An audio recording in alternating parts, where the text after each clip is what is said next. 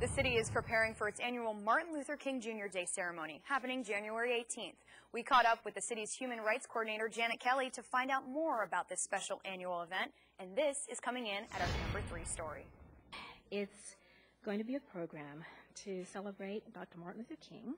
Um, we're going to have lots of entertainment. Um, it will be an opportunity for families to come together uh, and to talk and meet with each other and to really celebrate uh, a great person who had an impact on the total race relationship for the, the nation.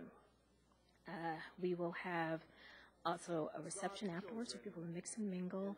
And then we'll also have a speaker who will highlight some of the wonderful things that Dr. King has done for us. Um, we will have um, an emphasis on youth uh, performances as well as adults too. Um, we will celebrate the diversity that's here in Rockville, and um, we'll have the opportunity to invite everybody from all over to uh, celebrate this wonderful man who's made such a huge impact on the racial relationships within the nation.